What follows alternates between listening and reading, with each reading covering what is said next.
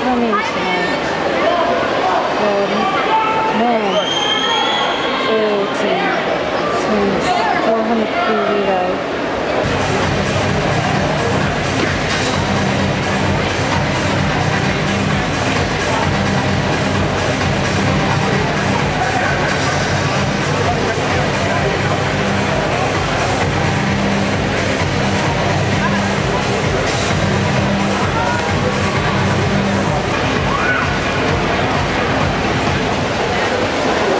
know how to this probably your two